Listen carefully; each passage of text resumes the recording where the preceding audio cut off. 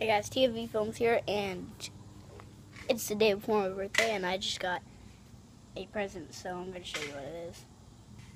Lucky 100 millimeter, uh, I guess, toaster wheels.